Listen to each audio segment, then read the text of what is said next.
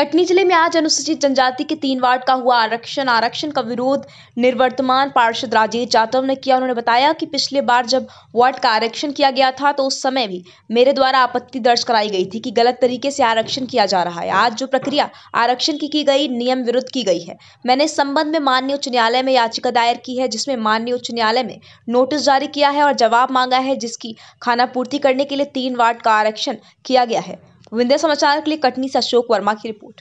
आरक्षण को लेके कटनी ज़िले में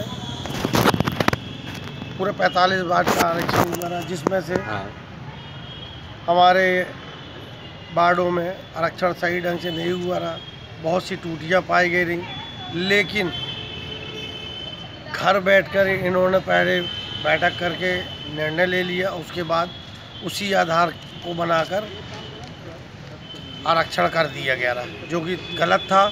मैंने उस पर शिकायत की थी। माननीय उच्च न्यायालय में केस लगाया है जिसमें से नोटिस कलेक्टर द्वारा जारी हुआ कलेक्टर को जारी हुआ रहा, जिसमें से आज आरक्षण होना था।